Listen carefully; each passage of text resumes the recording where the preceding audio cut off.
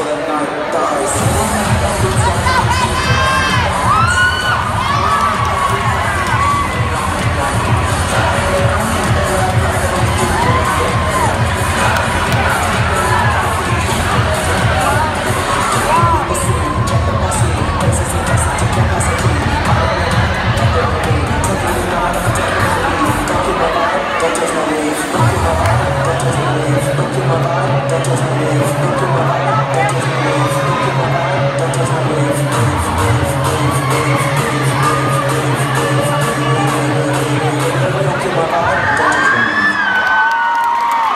West Carolina, we have